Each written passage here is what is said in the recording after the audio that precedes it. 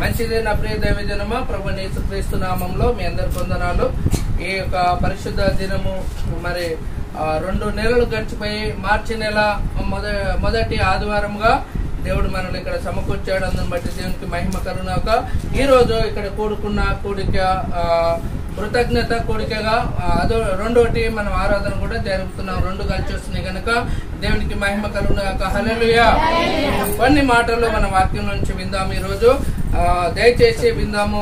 దేశలోని కైలకు రాసిన పత్రికలో ఆ, దశలోనికై రాసిన పత్రిక. అక్కడ రాయబడి ఉంది కృతజ్ఞత అనేది ప్రాముఖ్యమైంది. అన్ని విషయాలలో కనుక మన కృతజ్ఞత చెల్లించవలసిందని అపోసుడైన పౌలు అక్కడ ఉన్నటువంటి సంఘానికి రాసి చెప్తాడు. కృతజ్ఞతాస్తుతులు చెల్లించుడి. ప్రతి విషయమునందు కృతజ్ఞత స్థుతులు చెల్లించుడి. ఇలాగు చేయుట రెఫరెన్స్ రైట్ నాన్న. మొదటి తెశలోనికైకు రాసిన పత్రిక ఐదో అధ్యాయము పదహారో వచనము. చదువునన్న మరలా. ప్రతి ప్రతి కృతజ్ఞతాస్తుతులు చెల్లించుడి. కృతజ్ఞత స్థుతులు చెల్లించుడి. ఇలాగు చేయుట. యేసుక్రీస్తునందు మీ విషయంలో దేవుని చిత్తము. హల్లెలూయా. వాక్యం రాయబడింది. ప్రతి విషయంలో దేవునికి ఏం చేయాలి? కృతజ్ఞత శుద్ధి చెల్లించాలి. ఇది ఇలాగు చేయుట మీ విషయంలో దేవుని చిత్తమై ఉన్నది. మనము దేవుని చిత్తము ప్రభాని నా పట్ల నీ చిత్తము ఎప్పుడు అంటాం ఎక్కువగా? ప్రభు నా పట్ల నీ చిత్తమేందో? బయలుపరచు. నా పట్ల ఏదన్నా సంబంధం వచ్చింది అంటే మ్యాచెస్ వస్తాయి అనుకో అప్పుడు ఎక్కువ ఏం ప్రార్థన చేస్తాం ప్రభా ఈ అబ్బాయి కరెక్టా కాదా? నా పట్ల నీ ఉద్దేశం ఏందో? నీ చిత్తం ఏందో నెరవేర్చు అంటాము. తర్వాత ఇంకా కొన్ని విషయాల్లో ఉద్యోగంకి వెళ్ళాలన్నా ఉద్యోగంకి వెళ్ళాలన్నా ఇంకేదైనా అపాయింట్మెంట్ తీసుకోవాలన్నా ప్రభా ఇది నీ చిత్తమా? కాదా? నాకు నెరవేర్చమని చేస్తాం గనక ఈ రోజు నా ప్రేదేవుని బిడ్డ ఎందుకు దేవునికి కృతజ్ఞతలు చెల్లించాలి. అసలు దేవుని చిత్తం ఏమైంది? కొన్ని మాటలు మనం చూసుకుందాం గనక సమయలు గ్రంథంలోంచి ఒక భాగాన్ని మనం చదువుదాము. సమయాలు మరి మొదటి సమయలు గ్రంథము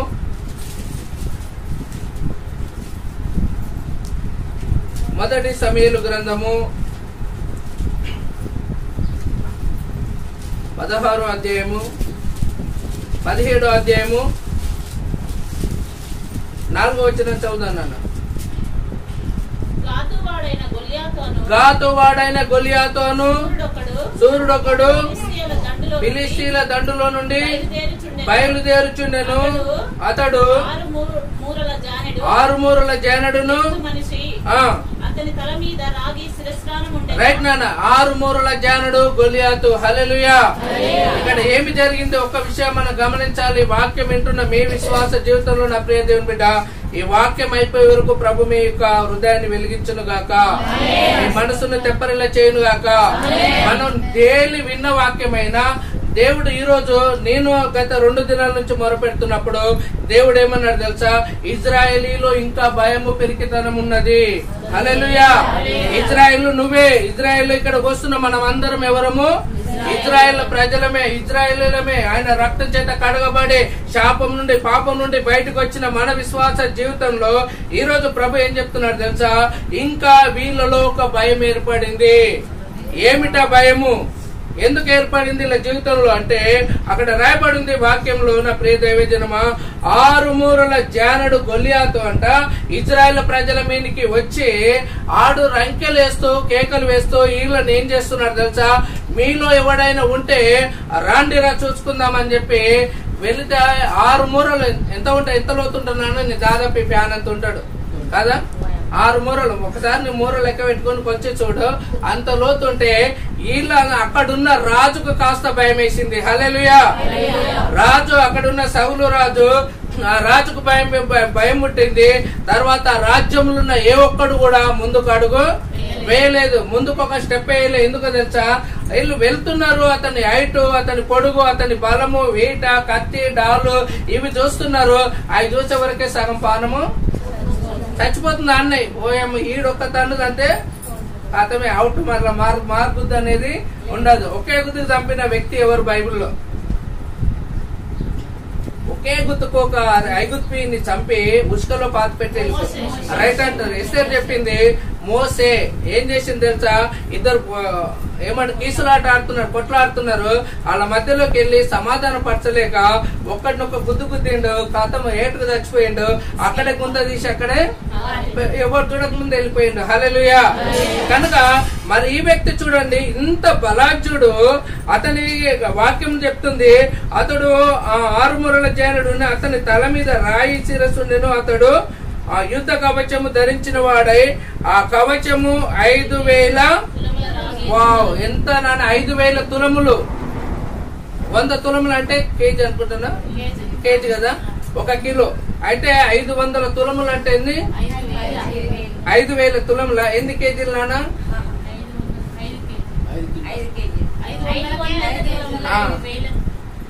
కౌంట్ చేయండి. ఎన్ని కిలోలా? కింటలా? కింటలు అయితే అంత బరువు భరించేటువంటి వ్యక్తి అంటే. అతని తల మీద ఇంత బరువు ఉందంట. హల్లెలూయా. మామూలు మనిషి ఆ వెళ్ళగలుగుతాడు అతను చూసే భయపడుతా ఉన్నాడు. అతను చూసి అక్కడ రాయబడి ఉంది ఏం చేస్తారో చూద్దాం నాన్న. ఆ పదో వచనం. ఈ దినమున నేను నేను ఇజ్రాయేల్ సైన్యములను తిరస్కరించుచున్నాను. వాడును నేనును ఆ. సౌలును ఇజ్రాయిల్ అందరును ఆ ఫిలిస్తీని మాటలు విన్నప్పుడు బహుభీతులైరి. దావీదు యూదా బెత్లహేము వాడగు. ఎఫ్రాయితుడైన యెషయాను వాని కుమారుడు యెషయాకి ఎనమడుగురు కుమారులు రైట్ నాన్న దేవుని వాక్యంలో బాహుబీతులయ్యి అంటే భయం వచ్చేసింది. ఇతని గర్జన ఎలా ఉందంటే ఆడు సింహం లాగా గర్జిస్తా ఉన్నాడు. ఒక లోయ మధ్యలో ఉంది. ఆ లోయలో యువతల పక్క ఇజ్రాయెల్ ప్రజలు ఉన్నారు. అవతల పక్క పిలిస్తీన్ల దండు ఉన్నది. ఈ పిలిస్తీన్ల దండులో ఆ గాదువాడైన గొలియాత్ ఒక్కడు ముందుకు వచ్చేయమంటున్నాడు తెలుసా? మీలో ఎవడైనా ఉంటే ముందుకు? సవాలు ఇస్తున్నాడండి మీలో ఎవడైనా ఉంటే ముందుకు? రండి ఈరోజు మేము మీ సైన్యాన్ని ఇజ్రాయేల్ ప్రజలందరూ అతడు ఏం చేస్తున్నాడు? తిరస్కరిస్తున్నాడు. హలలుయా తృణీకరిస్తున్నాడు. మీలో దేవుడు లేడా? మీకు ఏమో లోకరీతిగా అంటాం కదా మీలో ధైర్యం ఉంటే రాండి రా చూసుకుందాము. మీలో ఆ రోషం ఉంటే రా ఎన్ని రెచ్చగొడుతున్నాడంటే ఈ పిలిస్తీయుడు ఇజ్రాయెల్ ప్రజలందరినీ ఒకేలాగా తిట్టేస్తున్నాడు అవమానిస్తా ఉన్నాడు గనక చేస్తుంటే ఈ రాజు కాస్త ఏమైంది తెలుసా అని మాటలకు తూట కన్నా మాట పవరు. అవునా కదా? ఆడు కాలుస్తాడన్నా ఒకేసారి దస్తాడేమో గాని రేపు ఈ టైంకి నిన్ను చంపుతంటే నాలుగు వందల మందిని ఒకేసారి ఊత కోత కోసినటువంటి ఏలియా ఆకాశం నుండి అగ్ని దింపినటువంటి ప్రవక్త యజబేలు భయానికి ఏం చేసిండు? ఒక దినమంతా ప్రయాణము దూరం వెళ్ళిపోయిండు. హలలుయా ఒక దిన ప్రయాణం అంతా దూరం వెళ్ళిపోయి ప్రభా ఇంత బతుకు బతికి ఆడదాని చేతిలో చచ్చిందానికంటే నువ్వే నన్ను చంపేసేయి అన్నాడు. ప్రార్థన చేసుకున్నా నువ్వు నన్ను చంపేసేయి అంటే ఏలి దేవుడు అన్నాడు నువ్వు చావడానికి నా చిత్తము కాదు. నువ్వు చావడం నా చిత్తం కాదు. నువ్వు లే నీ శక్తికి మించిన ప్రయాణము నీకు ఉన్నది పరిగెత్తమంటే అతడు ఆహారం పుచ్చుకొని ఆ ఆహారం బలం చేత నలభై దినాలు పరిగెత్తాడు. హల్లెలూయా! దేవుని స్తోత్రం. హల్లెలూయా! ఈ దినము నా ప్రియ దైవ జనమా నువ్వు దేన్ని బట్టి భయపడుతున్నావు? నువ్వు దేన్ని బట్టి కురిగిపోతున్నావు? దేన్ని బట్టి దేన్ని బట్టి దేవుడు విడిపించాడో తెలుసా? రాయబడింది ఆని మాటకు ఇజ్రాయిల్ అందరూ ఏమయ్యారంట? భయభీతులైపోయారంట. భయము చెందారు. గుండె గుండె చెదిరిపోయింది. విశ్వాసం లేదు నిరీక్షణ లేదు. అవిశ్వాసంలోకి కోల్పోయారు ఎన్నో ఏళ్ళ నుంచి కట్టుకున్న విశ్వాసం అంతా ఒక గొలియాతు నిలబడగానే ఆ విశ్వాసం అంతా ఏమైపోయింది తెలుసా? నీరు గారిపోయింది. ఉన్న విశ్వాసం అంతా బలహీనమైపోయింది. ఆడిని ఆని గర్జనకు భయపడుతున్నాడు. రాజు భయపడి యశ్య ఇంటిలో ఈయనకి ఈక్వల్గా కొంతమంది కుమారులు ఉన్నారు. ఆయనకు మహాన్ భావులు ఉన్నారు గనక వాళ్ళని నేను తీసుకొస్తానని చెప్పి యశ్య ఇంటికి ఈ సౌలు రాజు తెలుసుకొని ఈయనకి భయపడి ఈ సౌలుకు యుద్ధం చేసేదాకా ఏం చేసింది తెలుసా? ఆ యశ్య ఇంటికి వెళ్ళిపోయిండు. యశ్ఐ ఇంటికి వెళ్ళినప్పుడు అక్కడ ఎంత మంది ఉన్నారో చూద్దాము. పదకొండు పన్నెండు మంది ఎంతనా ఎనమండుగురు కుమారులు ఉండేరి ఎనమండుగురు కుమారులు ఉన్నప్పుడు ఇతడు పోయి ఏం చేస్తాడో చూద్దాము. పదమూడవ వచ్చిన అయితే యెషయా యొక్క ముగ్గురు పెద్ద కుమారులు యుద్ధములకు ఆ, సౌలు వెంటను పోయుండిరి. ఆ. యుద్ధమునకు పోయిన అతని ముగ్గురు కుమారుల పేర్లను ఏమనగా జ్యేష్ఠుడైన ఎలియాబు రెండవ వాడు ఆ. దావీదు కనిష్ఠుడు పెద్దవారైన ముగ్గురు సౌలు వెంటను పోయి ఉండిరి గాని ఆ. దావీదు బెత్లెహేములో తన తండ్రి గొర్రెలను మేపుచు రైట్ నాన్న. దావీదు బెత్లహేములో తన తండ్రి గొర్రెలను మేపుచుండెను. బెత్లహేములో తన తండ్రి గొర్రెలను మేపుతున్నాడు. ఎవరిని ముగ్గురిని తీసుకెళ్ళాడు తెలుసా? ఈ సౌలు రాజు వచ్చి యెహోవా అక్కడ రాయబడి ఉంది ఎలియాబును తీసుకెళ్ళాడు ఎలియాబు ఎవరంటే పెద్దవాడు. ఎలియాబు పెద్దవాడు తర్వాత అభినాదాబుని తీసుకెళ్ళిండు. మూడవ వ్యక్తిని చెమ్మాను అందుకే ఇందాక చదివాం కదా పాట పాడాము. అలెలుయా యెహోవా ఈరే. అలెలుయా యెహోవా షమ్మా అలెలుయా యెహోవా హల్లెలూయా మంచిది నాన్న. దేవుని వాక్యాన్ని విందాం ఈ రోజు ఈ ముగ్గురిని చూస్తే చాలా ఎత్తుగా ఉన్నారు. బలాజులు తర్వాత మాటకారి యుద్ధం చేసేటువంటి జ్ఞానము ఇళ్ళలో ఉంది గనక ఈ విధంగా వీళ్ళు ముగ్గురు ముందుకు కొనసాగుతున్నప్పుడు వెళ్ళిపోయి వెళ్ళిపోతే వీళ్ళు ముగ్గురు వెళ్ళి ఏం చేస్తారు తెలుసా? ఆ వ్యక్తికి మరింత భయపడుతున్నారు. హలెలుయా ఎక్కడి నుండో మనం బలాజుడు అని మన చేత మనం ఫైటింగ్ చేయడానికి చేత కాక ఓ నలుగురిని కిరాయి రౌడీలను పెట్టుకున్నామే అనుకో మనకంటే ఎక్కువగా వచ్చినోడు భయపడితే ఇంకేమన్నా ఉందా? అరే నా తరపున నువ్వు పోరాడరా నా తరపున మాట్లాడని ఎవరిని పెట్టుకుంటాం ఎక్కువగా అంటే లాయర్ను పెట్టుకుంటాం కదా? లాయర్ను పెట్టుకుంటాం తెలిసిన వాళ్ళు ఎవరైనా పెట్టుకొని మా తరపున కాస్త నువ్వేం చేయి మాట్లాడమని చెప్పేస్తే ఆయన ఆడే పోయి వాళ్ళ సందున ఇరికి మనకు రివర్స్ మాట్లాడుతుంటే ఎట్లా ఉంటది? వీళ్ళ వీళ్ళు ముగ్గురు కుమారులు ఏం చేసేది తెలుసా? వీళ్ళు వచ్చినాక ఏమన్నా ధైర్యం వస్తుందేమో బాబు అంటే వీళ్ళు వచ్చినాక కూడా ఏ మాత్రం ధైర్యము వీళ్ళు అదే గిరకాడికి పోతున్నారు బయటికి వస్తున్నారు. అదే గిర దగ్గరికి పోతున్నాడు. ఎన్ని దినాలు ఆడ ఆ విధంగా రెంకలు వేసినో చూద్దాము. పదహారో వచనము ఆ పిలిస్తీయుడు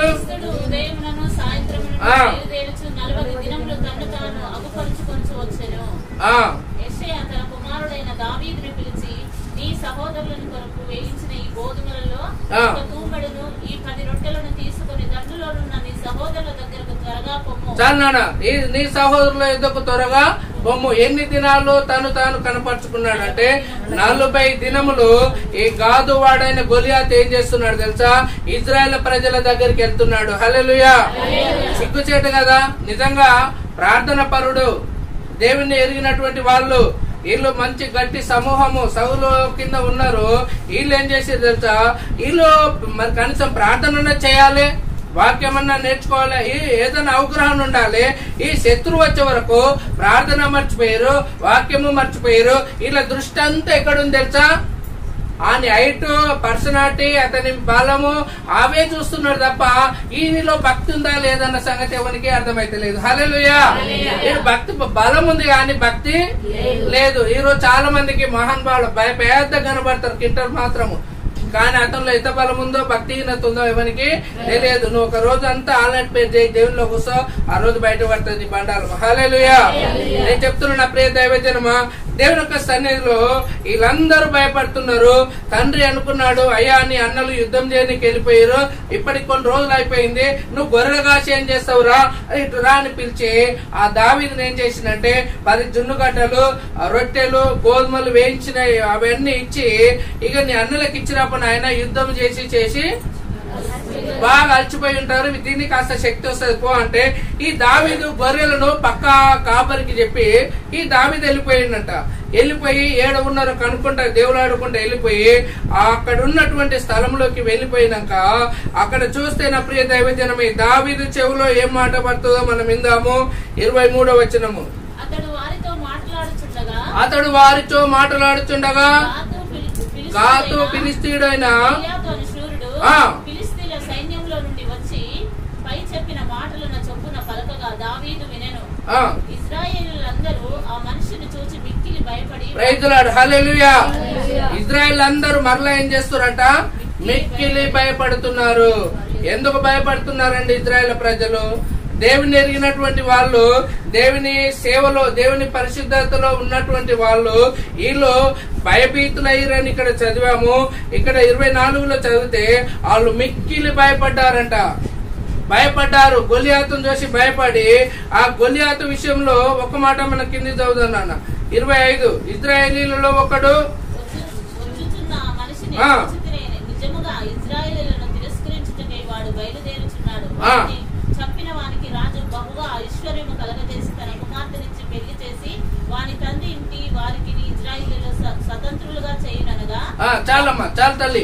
దేవుని యొక్క వాక్యంలో దావీదు అంటున్నాడు అతడు అసలు బహుమానం ఏంటయ్యా ఈయన్ని గొలియాతును చంపితే అంటే ఆయన చెప్పాడు అయ్యా సగం రాజ్యం ఇస్తాడు ఆయన బిడ్డను కూడా ఎవరిని చంపితే?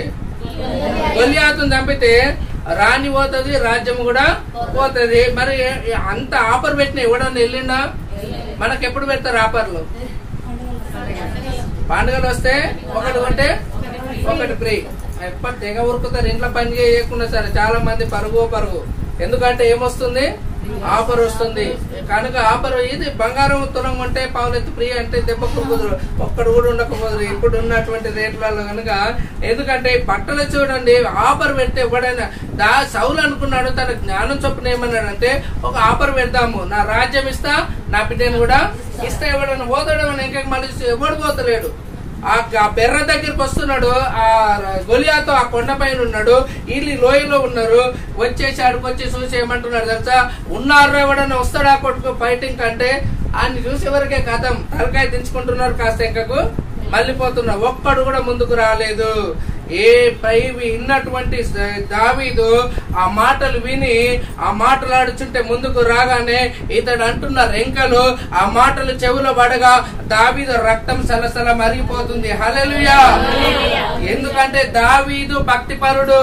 దావీదు దేవుని సన్నిధి అనుభవించినటువంటి వాడు గనక ఈ సున్నతి లేని పిలిస్తీయుడు ఇజ్రాయలను ఇజ్రాయలీలను తృణీకరించుటకు ఏ పాటి వాడు?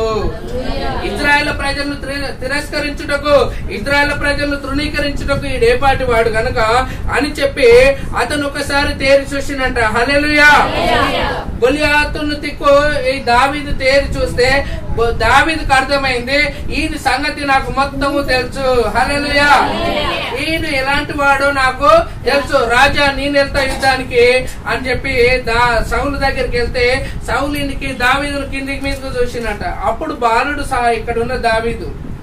యవనస్తుడు మధ్య టీనేజ్లో ఉన్నాడు కనుక ఈ బాలుడు ఏం చేస్తున్నాడంటే రాజా నేను వెళ్తా యుద్ధానికి అంటే పిట్టే కొంచెము ఇది ఉంది కదా సామెత లోకంలో. పిట్టే ఇది చూస్తే కొంచెమే ఉన్నాడు ఈ మాట చూస్తే చాలా పవర్ఫుల్గా ఉంది.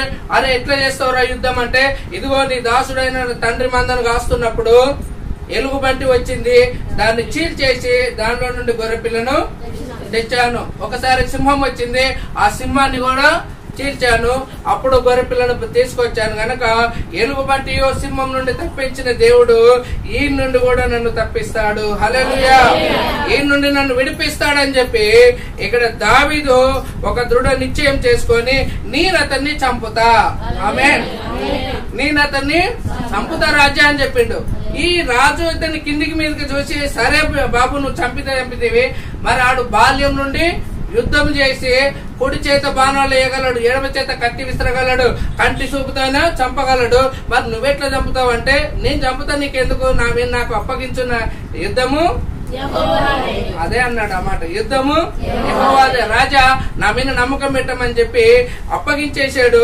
అప్పుడు రాజు వెళ్ళి కనీసము నా సేఫ్టీ కోసం నా ధైర్యం కోసమైనా నువ్వేం చేయి కదా యుద్ధ కవచాలన్నిటినీ ధరించుకో అన్నాడు. మనకు తెలుసు కదా ఈ వాక్యము యుద్ధ కవచాలు ధరించుకోమంటే ఈ పెద్ద పెద్ద డాలు ఇవి బాలునికి ఏమన్నా ఉంటాయా? బక్కోనికి హెల్మెట్ పెడితే ఎట్లా ఉంటది? అది మూడు చుట్లానే తిరుగుతారు రౌండ్ ఇట్లా. ఇటు తిప్పిన తిరుగుతుంది అటు తిప్పిన తిరుగుతుంది. తలకాయ ఉండదు ఇంత ఇటు ఇట్లా అంటే ఊర్లాడుతుంది అల్లనే గనక. మరి దావీదుకు అవి తగిలిచ్చారు కానీ అవి దాంట్లో మోసేంత బలం కూడా దావీదుకు లేదు. అయ్యా రాజా నువ్వేమనుకోవద్దు.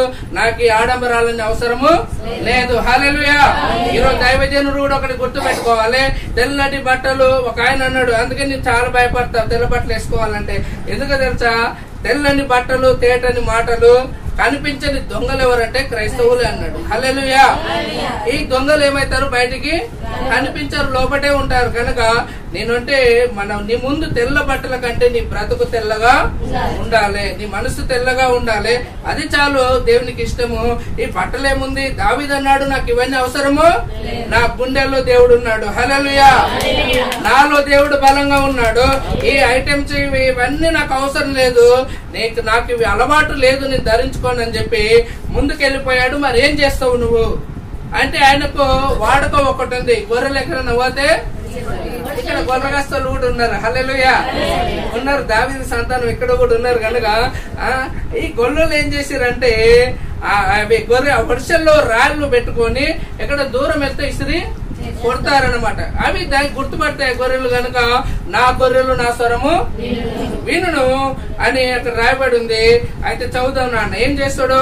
అని ఆ విషయం తెలుసుకున్నప్పుడు ఇరవై ఎనిమిదో వచ్చిన ఇరవై ఆరు నుండి చదువున్నాను దావిదు జీవము గల దేవుని సైన్యమును తిరస్కరించుటకు ఈ సున్నతి లేని ఎంతటి వాడు? వాని చంపి ఇజ్రాయెల్ నుండి ఈ నింద తొలగించిన వానికి బహుమతి ఏమని తన యుద్ధ నిలిచిన వారిని అడగగా చూడండి పట్టుదల రోషం ఉంటేనే నువ్వు బహుమతి కోసము ఆశపడతావు. నేను మొన్న చెప్పాను ఏస్కేల్ గ్రంథంలో ఒక కిజ్జు పెట్టాను. ఏంటి మామూలుది అది ఏంటంటే తెలుసా? నరపుత్రుడు అనే పదము ఎన్నిసార్లు ఉందో ఒకసారి కౌంట్ చేయి నాన్న. అందరికి చెప్పాను కాన్ఫిడెన్స్లో ఒక ఇరవై మంది ఉంటారు. ఉదయకాలము నాలుగు గంటల నుండి ఆరు గంటల వరకు ప్రార్థన జరుగుతూ ఉంటది. కనుక నాకు కొంతమంది వచ్చారు కొంతమంది రాలేదు ఈ రోజు ఆ వచ్చిన వాళ్ళకు దేవుని నామంలో వందనాలు. హల్లెలూయా. రానులను కూడా దేవుడు దీవించుగాక. ఎందుకంటే నా ప్రియ దైవజనమా ఈ వ్యక్తి ముందుకు వెళ్ళిపోయి ఆయన అన్నాడు బహుమతి ఏంటి అంటే బహుమతి ఏందయ్యా? రాన్ని ఇస్తాడు ఈ రాజ్యం కూడా నీకే ఇస్తాడు అని చెప్తే దీనిగా దీనికి ఆయన ముందుకు అడిగేసి ఆయన ఒక్కటి గుర్తుపట్టి ఏంటో తెలుసా? ఇజ్రాయెల్ ప్రజలు సున్నతి చేయబడ్డవారు ఇజ్రాయెల్ ప్రజలు భక్తి పరులు. అయితే ఈ ఫిలిస్తీన్కి ఏం లేదు సున్నతి? లేదు. అసలు భక్తి తెలియదు యెహోవా దేవుని ఆరాధన ఈయనకి భయపడడం ఏంద్రా బాబు మీరందరూ? ఆ రాజు వైపు చూశాడు. రాజు వణుకుతా ఉన్నాడు. సర్జరం వచ్చినోడు వణికినట్టుగా. ఈ ప్రజలందరూ వైపు చూశాడు వీళ్ళు వణుకుతున్నారు. అక్కడున్న అన్నకి కోపం వచ్చింది. ఎలియాబు కోపం వచ్చి ఏమంటున్నాడు తెలుసా? ఒరే నీ చెడుతనం అంతా నాకు తెలుసు అసలు నువ్వు ఇక్కడ ఎందుకు వచ్చినావో నాకు తెలుసు గొర్రెలు ఇచ్చిపెట్టి ఇక్కడ ఏదో డ్రామా ఆడుతురు చూద్దామని నువ్వు వచ్చావని చెప్పి ఒక మాట అంటాడు చూద్దాం నాన్న. ఇరవై ఎనిమిదో వచ్చిన చదువుదాము. అతడు వారితో మాట్లాడుతుంది. అతని పెద్దన్నయ్యకు ఎలియాబునకు వినబడగా ఎలియాబునకు దావీదు మీద కోపం వచ్చి అతనితో నీవిక్కడికి ఎందుకు వచ్చితివి? అరణ్యములో ఆ చిన్న గొర్రె మందరు ఎవరి వశమున చేసితివి? నీ గర్వమును నీ హృదయమును చెడుతనమును నేను ఎరుగుదును ఆ, యుద్ధము చూచుటకే కదా నీవు వచ్చితివనెను. అందుకు దావీదు నేనేమి చేసి మాట మాత్రము పలికితనని చెప్పి అతని యొద్ద నుండి తొలగి తిరిగి మరి యొక్క మరి ఒకని ఆ ప్రకారమే అడగగా జనులు వానికి అదే ప్రకారంగా ప్రత్యుత్తమిచ్చిరి ఆ, చాలు నాన్న. దేవుణ్ణి అక్కడ ముందుకెళ్ళి అన్నని అడిగాడు ఎలియాబు కలిశాడు. ఒరే నువ్వు ఆ మందని ఏడిచిపెట్టి వచ్చినవరా? గొర్రెలు ఇచ్చిపెట్టి ఇక్కడ ఏమో ఇవి- ఇవన్నీ చూద్దామని వచ్చినవా? నీ చెడుతనము నీ హృదయ గర్వం నాకు తెలుసును. నువ్వు వెళ్ళిపోమని గద్దిస్తే ఇంకొకరిని అడుగుతాడు మొత్తం మీద ఆయనకున్న పట్టుదల ఏందో తెలుసా? ఇజ్రాయెల్ ప్రజల్లో ఒక నింద జీవితాంతం ఉండిపోతుంది. ఈ రోజు గొలియాతు కనుక అదే అదే విధంగా ఉంటే ఎవడు ముందుకు వెళ్ళిపోతే నలభై రోజులు అయిందండి. ఒక రోజు వన్ డే టూ డే ఇట్లా అయిపోయినాయి. రోజులు గడిచి నెల గడిచిపోయింది. ఒక్కడు కూడా ముందుకు అడుగు వేయట్లేదు. దావిదు వచ్చేసాడు ఏదేమైనా సరే ఈ రోజు దీని కూట ఏందో నేను తెలుసుకొని పోవాలి. ఏదో ఒకటి తేలాలని చెప్పి వెళ్ళిపోయి ముందుకు వెళ్ళాడు కనుక చూద్దాం నాన్న దేవుని ఒక వాక్యంలో నలభై ఐదో వచ్చినాము దావీదు నీవు కత్తియు ఈటెయు పల్లెమును ధరించుకొని నా మీదికి ఆ. వచ్చుచున్నావు అయితే నీవు తిరస్కరించిన ఇజ్రాయెల్ సైన్యములకు అధిపతియకు యెహోవా పేరిట నీ మీదికి వచ్చుచున్నాను ఆ. ఈ దినమున యెహోవా నిన్ను నా చేతికి అప్పగించును. నేను నిన్ను చంపి నీ తల తెగ వేతును ఇజ్రాయిలలో దేవుడున్నాడని లోక నివాసులందరూ తెలుసుకున్నట్లు నేను ఈ దినమున ఫిలిస్తుల యొక్క కళేబరములను ఆకాశ పక్షులకు మృగములకు ఇత్తును. అప్పుడు యెహోవా కత్తి చేతను ఈట చేతను రక్షించువాడు కాడనియు. ఈ దండు వారందరూ తెలుసుకొందరు. యుద్ధము ఏహోవాదే. ఆయన మిమ్మను మా చేతికి అప్పగించినని ఆయన మమ్మల్ని మా చేతికి అప్పగించును అని చెప్పి యాభై వచ్చిన చూస్తే దావీదు ఫిలిస్తీన్ కంటే బలాఢ్యుడైన ఖడ్గము లేకయు వెడిసెలను రాతితోను ఆ. ఫిలిస్తీని కొట్టి చంపెను వాడు బోర్లో పడగా దావీదు పరిగెత్తుకుపోయి. ఫిలిస్తీన్ల మీద నిలుచుండి వాని కత్తి వరదూసి దానిలో వాని చంపి వాని తలను తెగ నరికెను. ప్రైతులాడు హల్లెలూయా ఏంతో నరికాడు? ఎవరి కత్తి అది? వాని కత్తి. ప్రభు ఒక మాట అన్నాడు సువార్తలలో అక్కడక్కడ మనం వింటాము. కత్తి పట్టువాడు కత్తితోనే చస్తాడు. అని చెప్పి ఎందుకు చంపాడు దావీదు? ఒకటి మనం ఇక్కడ సీక్రెట్ ఒకటి నేర్చుకుందామంటే ఈ దావీదు ద- గొలియాతును చూసినప్పుడు ఈ గంభీరమైన వేషం కనబడుతుంది. కానీ ఈ గొలియాతో నాకు పాత పరిచయం ఉన్నటువంటి వ్యక్తే. ముందు గొలియాతును చూసి తర్వాత రాజు దగ్గరికి వెళ్ళి అన్నాడు రాజా నేను ఈ గొలియాతును చంపుతానని ఎందుకు ధైర్యం వచ్చిందో తెలుసా? ఆయన చూసినప్పుడు ఈ ఎలుగుబంటి రూపంలో వచ్చింది. సింహం రూపంలో వచ్చింది. ఈడే హలలియా ఒకప్పుడు నా గొర్రెలు కాస్తుంటే తండ్రి గొర్రెలు కాస్తుంటే అక్కడ ఎట్లా వచ్చింది తెలుసా?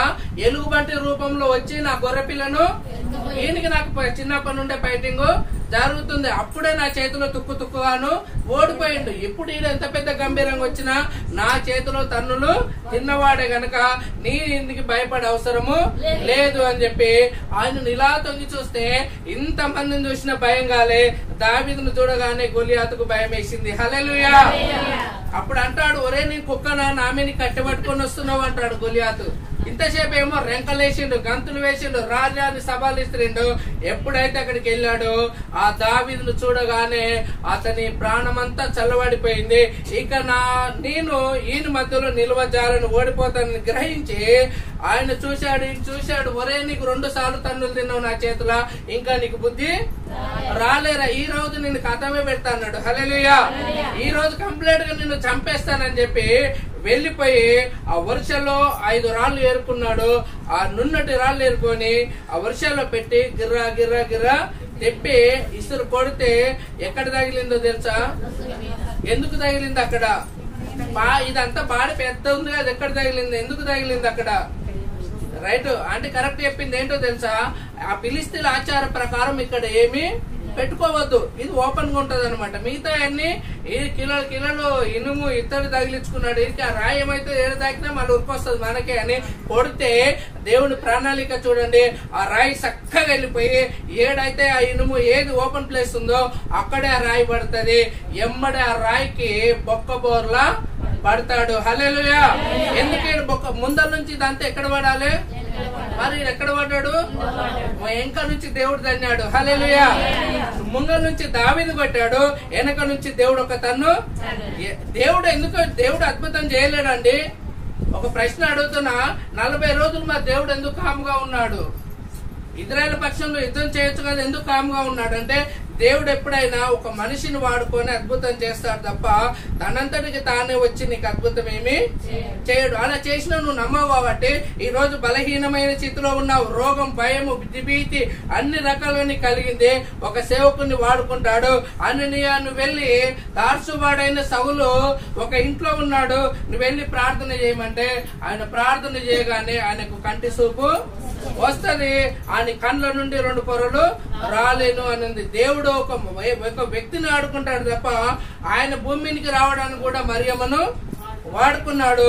ఈ రోజు ఇజ్రాయెల్ ప్రజలు అందరిలో భక్తి లేదు ధైర్యం లేదు విశ్వాసం లేదు దావిదిలో ఉన్న పట్టుదల ఎవరికి లేదు.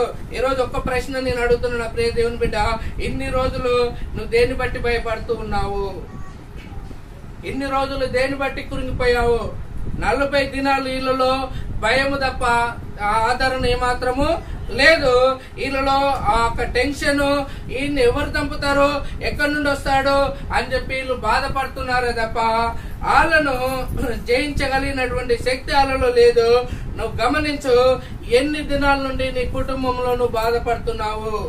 ఎన్ని దినాల నుండి నువ్వు వ్యక్తిగతంగా ఒక సమస్యతో పోరాడుతున్నావు? ఎన్ని దినాలు నువ్వు టెన్షన్లో ఉన్నావు? ఎందుకు తెలుసా? ఈ దీని తర్వాత అక్కడ ఉన్న స్త్రీలు అందరు ఏం చేశారు తెలుసా? దేవునికి కృతజ్ఞత చెల్లించారు. జై జైలు చెప్పారు. హల్లెలూయా. ఆ మాట చదువుతాను కిందకి.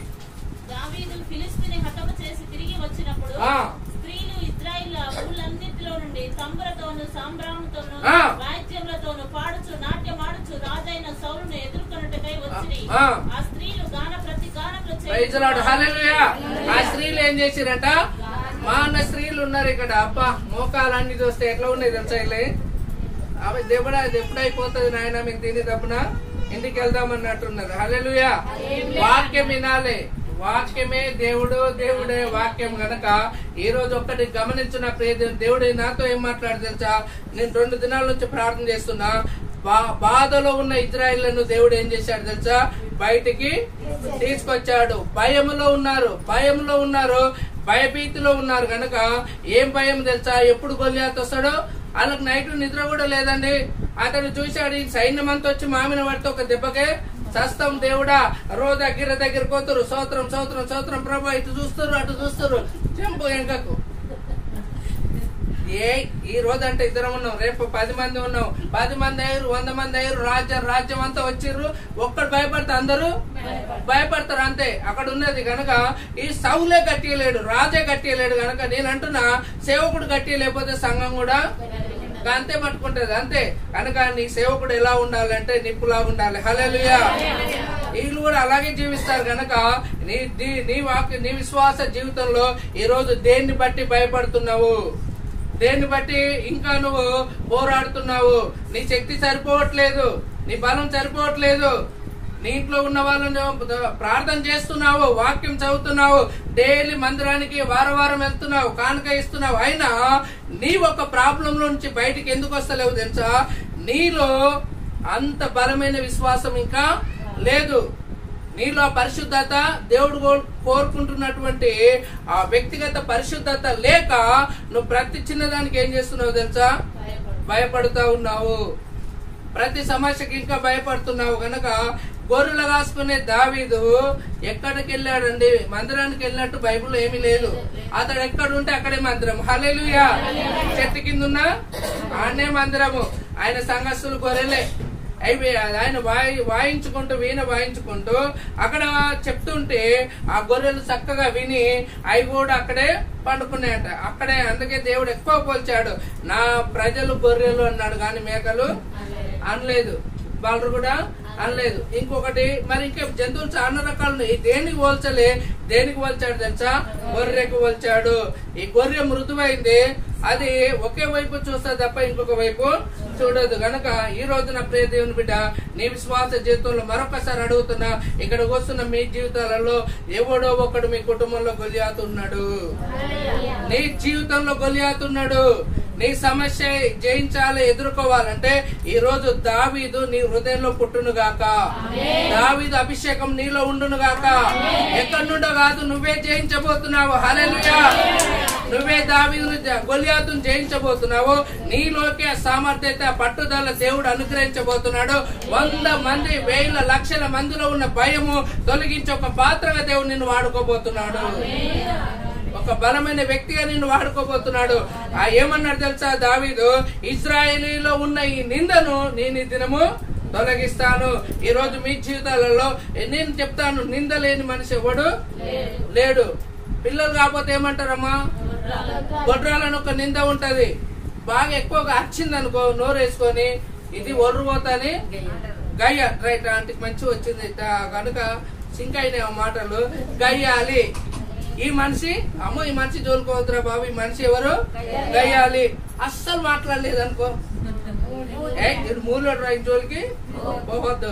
నువ్వు ఎట్లా ఉన్నా ఒక పేరు మాత్రము పెట్టేస్తారు కనుక ఎర్రగుంటే ఇటు తెల్లోడు అంటారు నల్లగుంటే నల్లోడు అంటారు. మరి దావిందని ఏమన్నారు తెలుసా?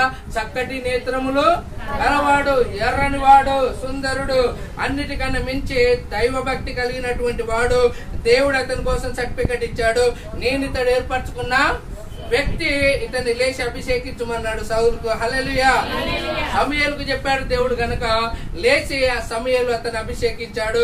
ఈ రోజు నీ భక్తి నీ విశ్వాసం నీ ధైర్యము మన బట్టల్లో కాదు నేను మరలా చెప్తున్నా మనం వేసుకునే వస్త్రాలు కాదు నడిపే బండిని బట్టి కాదు ఉన్న ఇల్లుని బట్టి కాదు దేన్ని బట్టి ఉండదు అసలు నీ గుండెల్లో దేవుని భక్తి ఎంతవరకు ఉంది?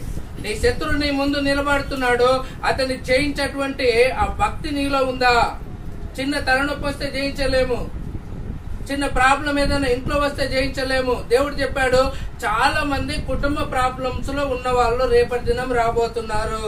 అలెలుయా నీ కుటుంబంలో ఎవరో ఒకరు గొలియాతో ఆత్మలను ఆత్మ వాళ్ళను పీడిస్తా ఉంది.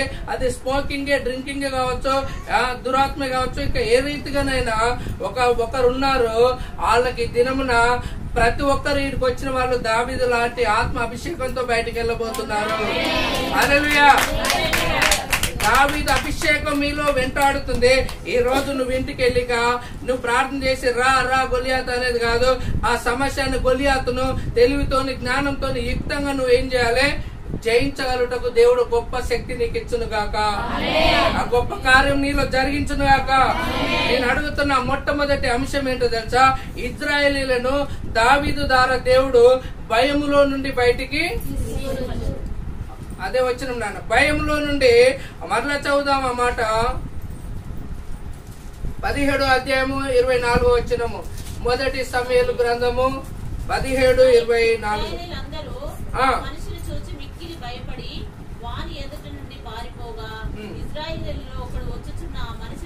చాలు నాన్న ఇజ్రాయెల్ అందరూ ఏం చేస్తున్నారు?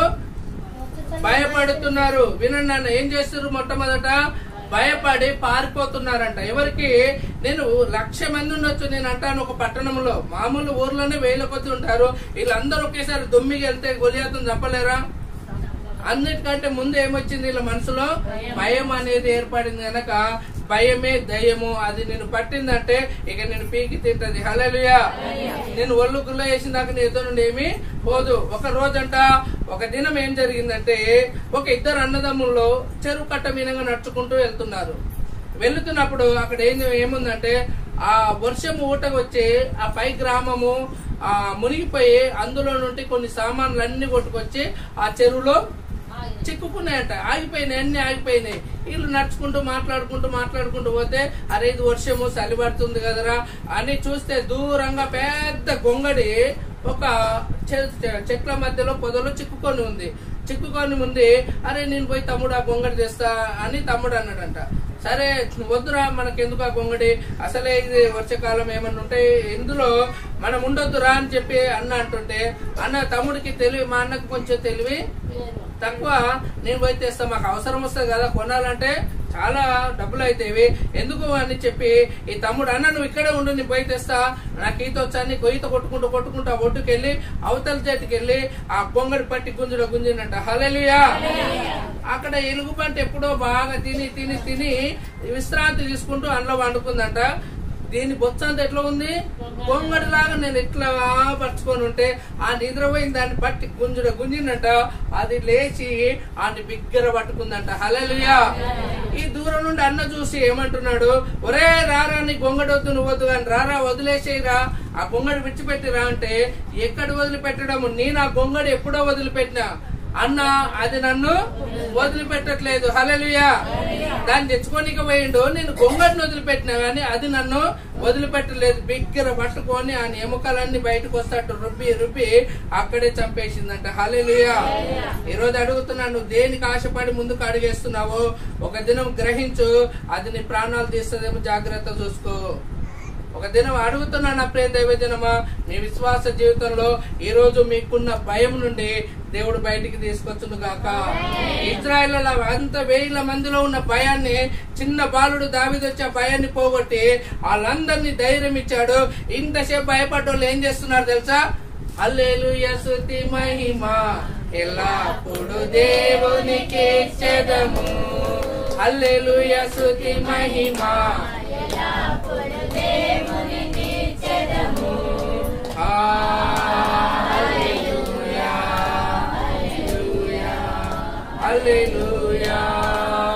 హల్లెలూయా స్తుతి మహిమ ఎల్లప్పుడు దేవుని హల్లెలూయా.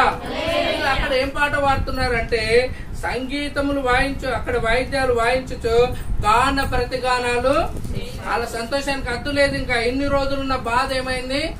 ఈ రోజు చెప్తున్న ఒకరికి ఒక పది లక్షలు అప్పు ఉందనుకో రోజు ఆడి ఇంటికి వచ్చి తలుపు కొట్టి రారా అన్న డబ్బులు ఇస్తావా? ఏమంటే ఇంకేమైతుంది? ఇంకెవడు వచ్చి తలుపు వచ్చినా ఆడే వచ్చిందేమో భయమే. ఉరికి ఎన్నో దాచుకుంటాడు. బాత్రూమ్ ఎంతమంది లేరండి దాచుకునే వాళ్ళు? ఎంతమంది లేరు భయంతో ఉన్న వాళ్ళు? ఈరోజు చెప్తున్నా ఈ వాక్యం వింటున్న మీ జీవితంలో మీ ప్రతి భయం నుండి దేవుడు విడిపించబోతున్నాడు. మీ ప్రతి బంధకాల నుండి దేవుడు తప్పించబోతున్నాడు. కనుక ఇక మీరు చూస్తున్నటువంటి భయము ఇక మీదట మీరు ఎన్నడూ చూడరు. ఐగుప్తులు భయపడ్డారు భయపడ్డారు. ఒక స్టేజ్కి వచ్చారు ఇజ్రాయెల్ భయపడి ఐగుప్తుల నుంచి బయటకు వచ్చి ఆ ఎర్ర సముద్రం దగ్గరికి వచ్చినాక దేవుడు ఒక్కడే చెప్పాడు మోసేతోని ఇక ఈ ఒక ఐగుప్తులను ఒకసారి మోసే అందరిని క్లియర్గా చూడు ఆ ఒక్క మనిషిని కూడా మరల నువ్వు ఎన్నడు చూడవు. ఏం చేస్తావు ప్రభు అంటే అది నీకు అనవసరం పో అన్నాడు. ఇలా సముద్రం దాటి వెళ్ళిపోయారు. వీళ్ళందరూ అదే సముద్రంలోకి వచ్చిండు దేవుడు మోసే ప్రార్థన చేసిండు. దేవుడు దాన్ని క్లోజ్ చేసిండు. వీళ్ళందరూ సముద్రంలో మునిగిపోయారు ఎందుకు మునిగిపోయారు తెలుసా? బ్రతికున్నన్ని రోజులు ఇజ్రాయెల్ ప్రజలను వాడు ఏడ్పించాడు కన్నీళ్ళు పెట్టించాడు గనుక అందుకే నీళ్ళలోనే దేవుడు వాళ్ళందరినీ ముంచివేశాడు. ఈరోజు చెప్తున్నా నిన్ను ఎవడన్నా ఏడిపిస్తున్నాడే అనుకో నీ కన్నీళ్ళకి ఎవడైనా కారణమైంది అనుకో నేను బైబిల్ పట్టుకుని ధైర్యంగా చెప్తున్నా ఆనికి నూకలు భూమి మీద చెల్లిపోయినట్టే. హల్లెలూయా. ఈ పన్ని ఎలుగుబంటిని వీకినట్టే ఇక.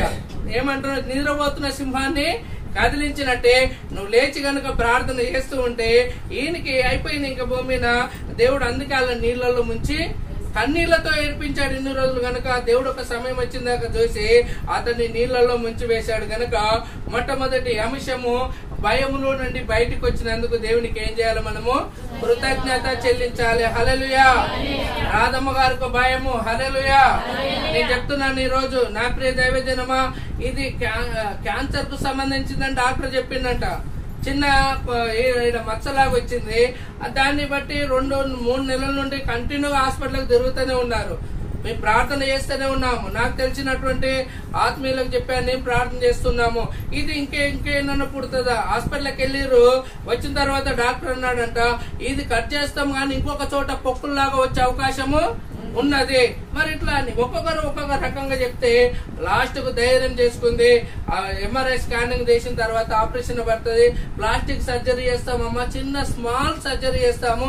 అసలు నీకు అర్థమే కాదన్నారంట. హలెలుయా పైరు డబ్బులు కట్టించుకోరు లోపల తీసుకెళ్ళిరు మూడు గంటల సేపు ఆపరేషన్ చేసిరు నాన్న.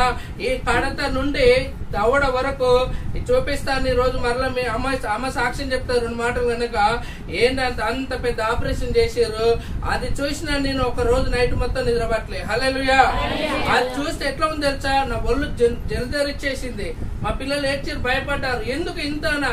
మామూలు ఒక మన బట్టలు పోతే బొంతలు కుట్టేస్తాం చూడు అట్లా కుట్టేసిరు కనుక భయంకరమైన స్థితి. అసలు ఎట్లా తట్టుకుందో కనుక నా ప్రియ దేవునిట లాస్ట్కు అవన్నీ తగ్గిపోయిన తర్వాత ఒకటి చెప్పగలుగుతాను. మళ్ళీ రిపోర్ట్లు వచ్చినాయి. ఇవి క్యాన్సర్ సంబంధించింది కాదు అన్ని నార్మల్ రిపోర్ట్లు వచ్చినాయి. హల్లెలూయా! ఆ మాట వినగానే ఏమన్నా తెలుసా? నానాని కృతజ్ఞత కొడుకు పెట్టుకుంటే ఇక. హల్లెలూయా! వేరే రోజు పెడదామమ్మా సండే అయితే అందరు వెళ్ళే వాళ్ళు ఉంటారు. ఇక- రావడానికి ఇబ్బంది అంటే లేదు ఆదివారం ఏడో తారీఖు నాకు ఇష్టము ఆ రోజే పెడతామంటే సరే అని చెప్పి ఇక్కడ ఉన్న వాళ్ళని చెప్తే వాళ్ళు జతాలు జతాలు రాకుండా ఒకరు అక్కడ ఒకరు ఇక్కడ వచ్చేసారు. కొంతమంది అటు వెళ్ళారు ఉన్న వాళ్ళు కొంతమంది ఇటు వచ్చారు. కనుక ఈ రోజు మరలా చెప్తున్నాను రాధమ్మ గారికి ఉన్న భయం నుండి దేవుడు ఏం చేశాడు బయటికి? ఈ రోజు ఆ స్థితిలో ఉంటున్న నీ జీవితంలో కూడా దేవుడు ఒకటి చెప్తున్నాడు నీకే క్యాన్సరా? నీ జీవితంలో గడ్డలా నీ జీవితంలో ఇంకేదన్నా ఏ బలహీనతో బాధపడుతున్నావా? ఈరోజు దేవుడు ఒక భయ ఒక మాట చెప్తున్నాడు. నీ భయం నుండి దేవుడు బయటికి తీసుకురాబోతున్నాడు.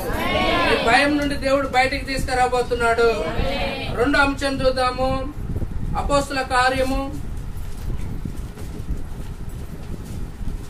పన్నెండో అధ్యాయము. ఐదో వచ్చినాం పేతురు చెరసాలలో ఉంచబడెను.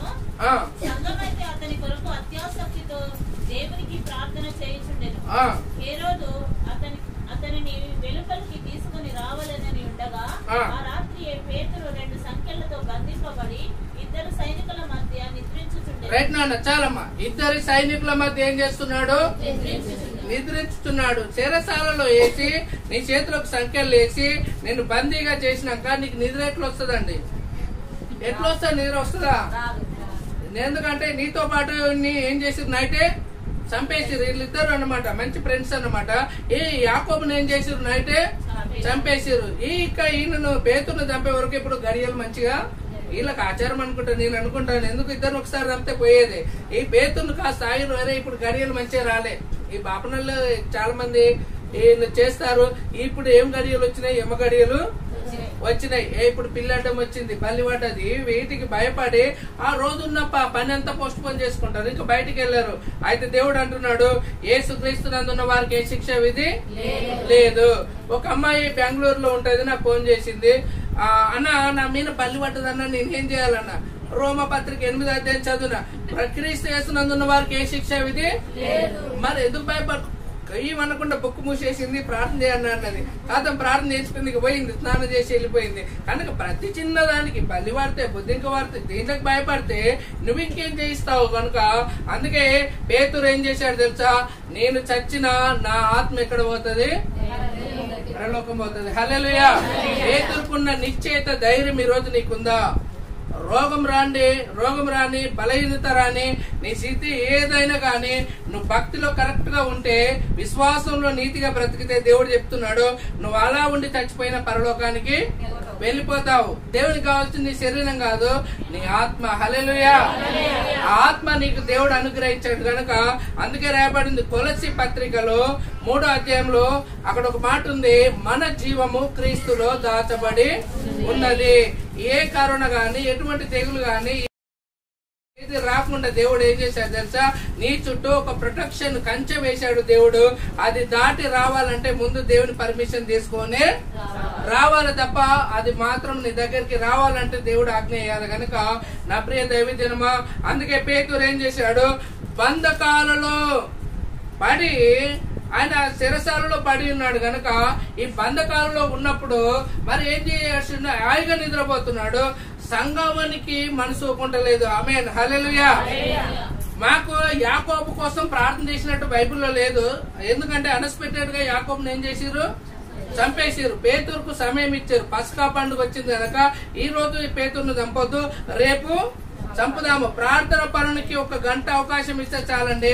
ఆ ప్రార్థన నీ జీవితాన్ని తలకిందులుగా మార్చేస్తుంది. హలలియా నీ చిత్రును బయటికి తరిమి కొడుతుంది. ఆ ప్రార్థన చాలు. దేవుడు నిన్ను బలపరుస్తాడు గనక ప్రార్థన అవకాశం లేనప్పుడు నువ్వేం చేయలేవు. ఏ ఇంకా నీకు ప్రార్థన చేయడానికి సమయం ఉంది. ప్రార్థన చేయడానికి మంచి అవకాశం ఉంది. ఆ సమయంలో నీ శత్రువు చెరసాల నీ యొక్క ప్రే నీ స్నేహితుడు గాని నీ తోడబుట్టు గాని చెరసాలనే బంధకములలో అనారోగ్యంతో గాని ఏదైనా సమస్యలు ఉంటే ఆ బాధ్యత నీది. వెళ్ళి పలకరించి మనం ఏదో సహాయం చేసి వస్తాము. దానివల్ల అతడు బయటకు వస్తాడన్న గ్యారంటీ ఏమీ? లేదు. కానీ నువ్వు మోకరించి ప్రార్థన చేస్తే గొప్ప విజయాన్ని చూస్తావు. గొప్ప కార్యాన్ని నువ్వు చూస్తావు.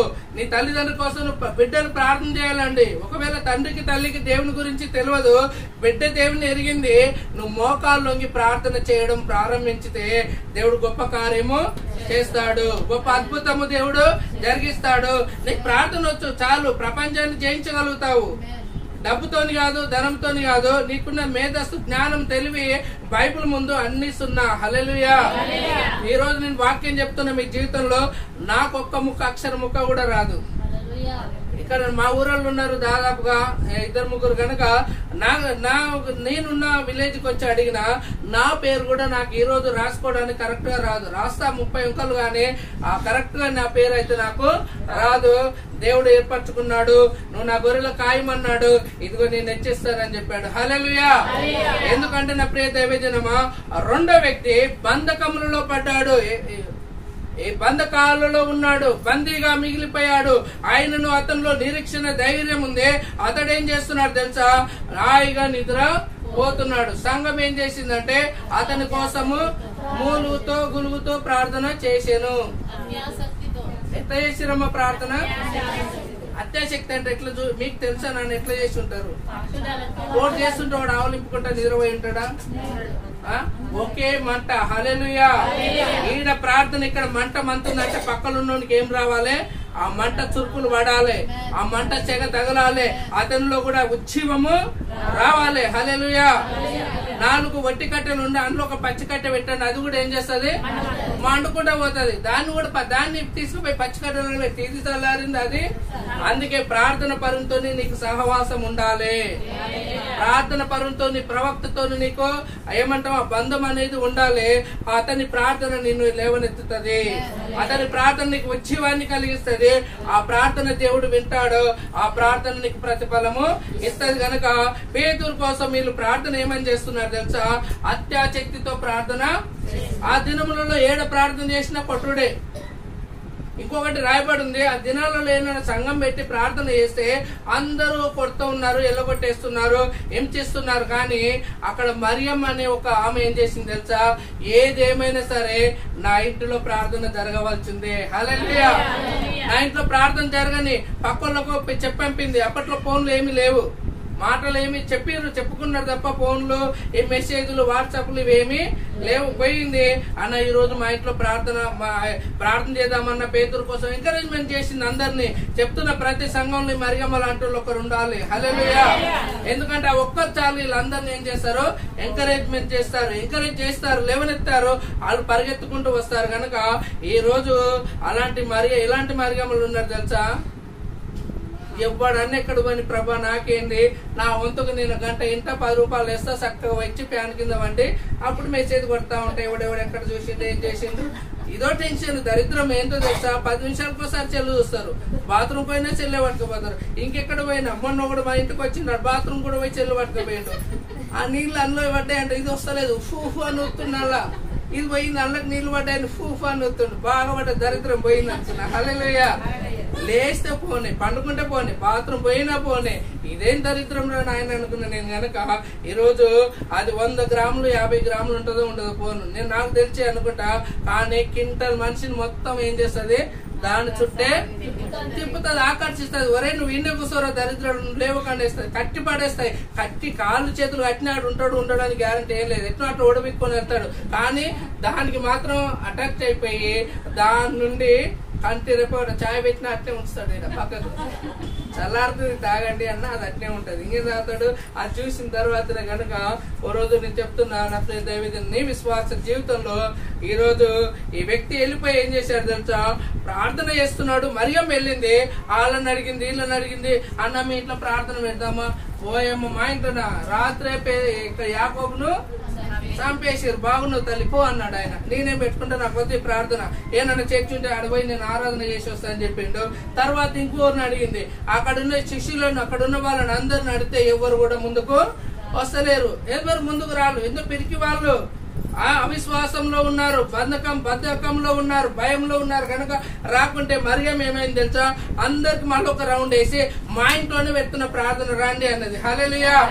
ఆ నైట్ అంతా ఏం చేసేది తెలుసా?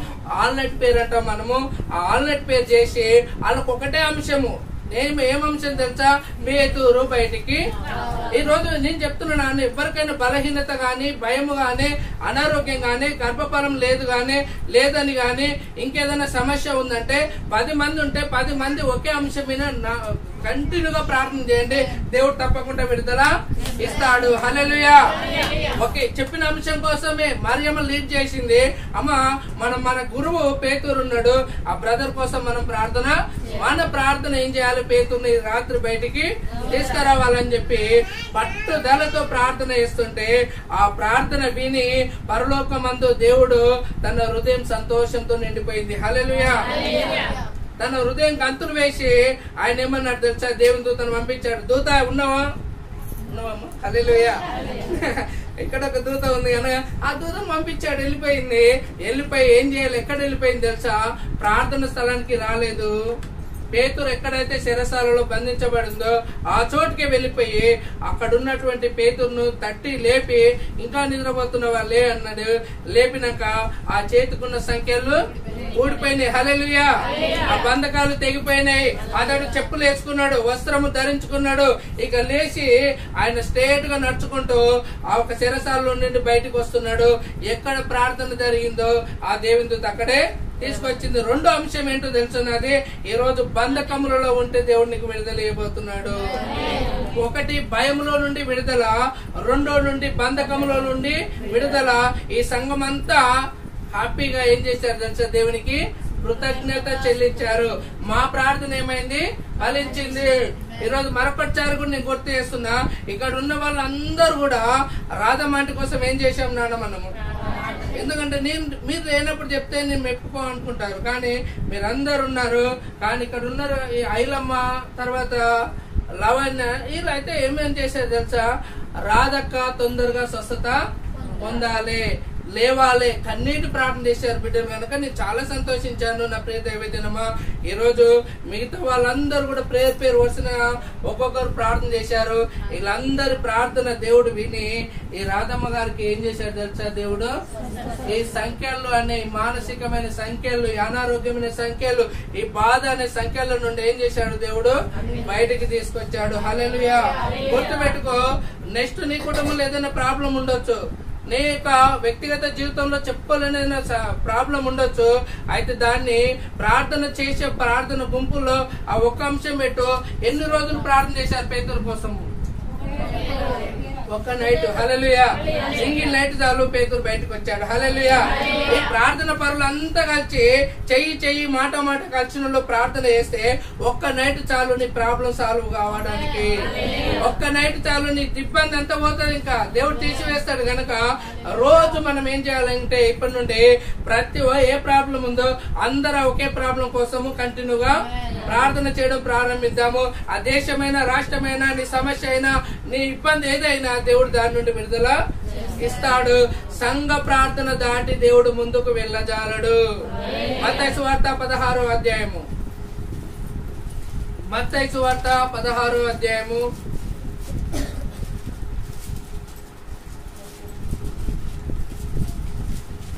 చెప్తాను పద్దెనిమిదో వచ్చిన సువార్త పదహారో అధ్యాయం పద్దెనిమిదో వచ్చిన మరియు నీవు పేతురువు బండ మీద నా సంగమును కట్టు. ఈ బండ మీద నా సంఘంను కట్టుదును.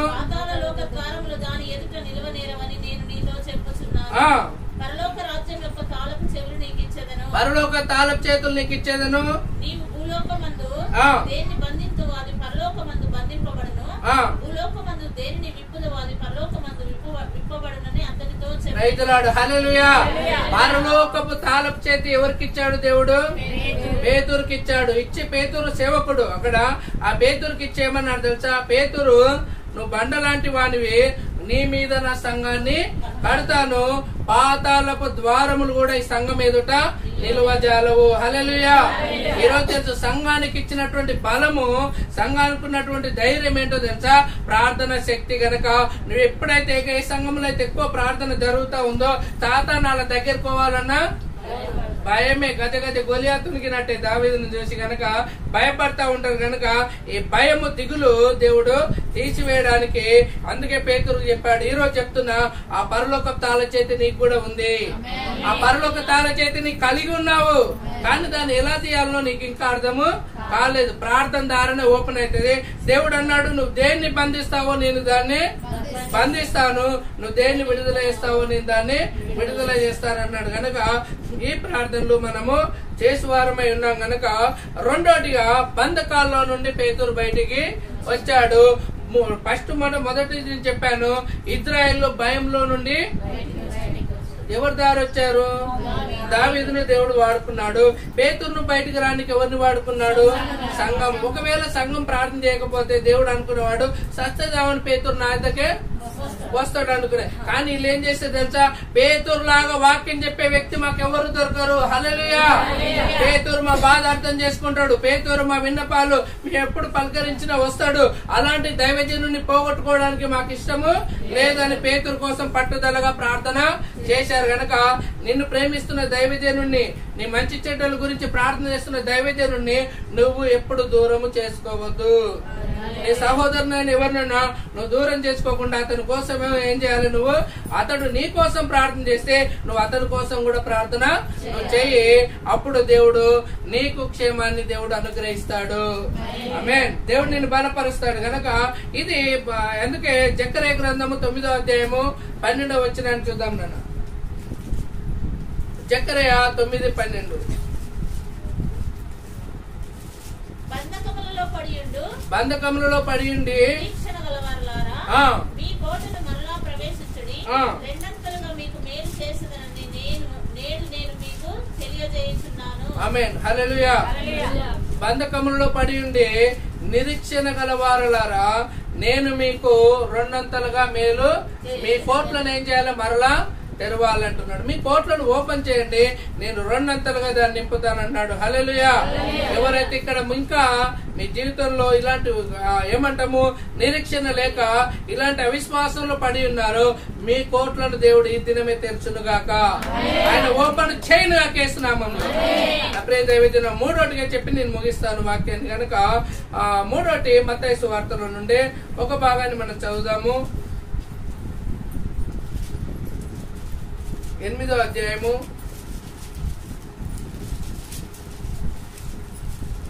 పద్నాలుగు తరువాత యేసు. పేతురింటిలో ప్రవేశించి. జ్వరంతో పడి ఉన్న అతని అత్తని చూచి. ఆమె చెయ్యి ముట్టగా ఆమె చెయ్యి ముట్టగా జ్వరం ఆమెను విడిచెను. అంతటా ఆమె లేచి ఆయనకు ఉప- ఉపచారము చేయసాగాను. ఆయనకు ఉపచారము చేయసాగాను. హల్లెలూయా.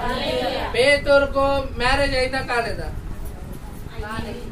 ఎందుకంటే ఆయనకు ఎవరు ఉన్నారు అత్త ఉంది కాబట్టి దీన్ని నేర్చుకోవచ్చు. కనుక పేతురు ఒక ఫ్యామిలీతో ఉన్నాడు. అయితే పేతురు ఆయన దేవుడు విలువగానే సా- ఏమంటే అక్కడ ఉన్నటువంటి ఆ పనిని వదిలిపెట్టేసి వచ్చాడు.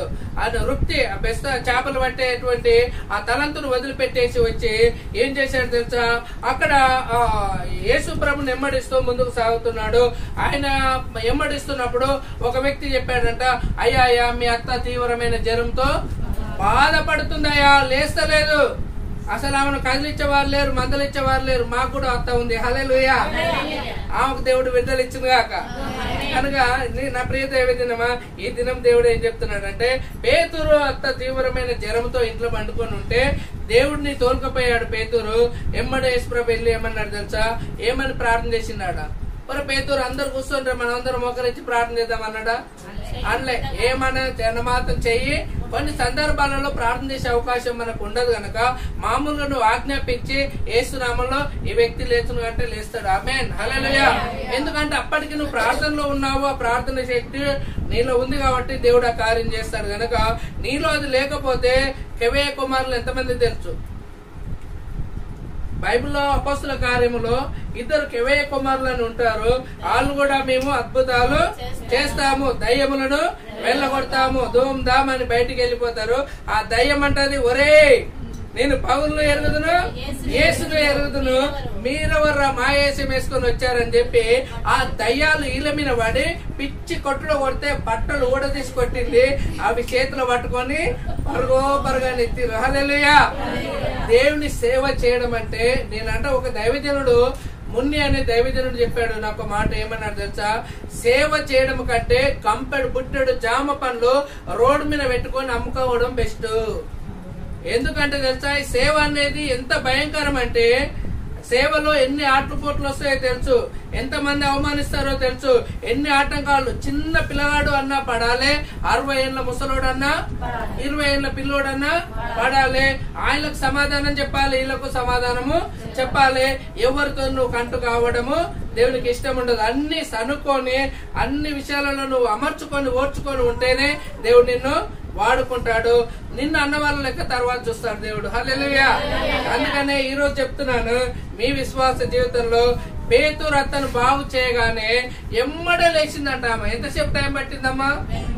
ఏ అమ్మ ఈ రోజు జ్వరం వచ్చింది. నేను అంటున్నా రాధమ్మ గారికి ఆపరేషన్ జరిగినాక ఒక రోజు మేము వెళ్ళాము చూడనిక ఐసీలో నుండి బయటికి తీసుకొచ్చారు. ఇడ్లీ తిన్నది. ఆ కనీసం లేవలేదు కదా. ఇడ్లీ కవర్ అన్న తీసి చెత్తబొట్లు వేద్దాం అనుకుంది. పాస్టర్ గారు ఆగండి.